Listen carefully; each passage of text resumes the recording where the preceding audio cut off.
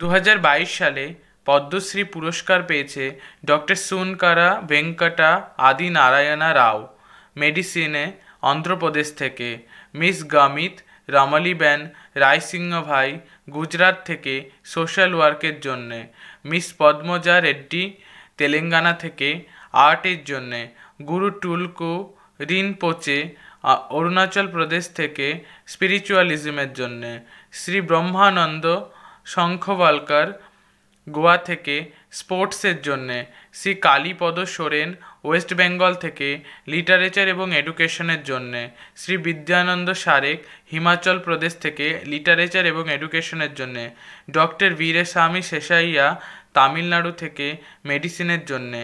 Miss প্রভাবেন Saha Dadra Nagar haveli এবং দমনদিউ থেকে social ওয়ার্কের জন্যে। শ্রী দিলীপ সাহানি দিল্লি থেকে লিটারেচার এবং এডুকেশনের জন্যে। শ্রী রামদয়াল শর্মা রাজস্থান থেকে আর্টের জন্যে।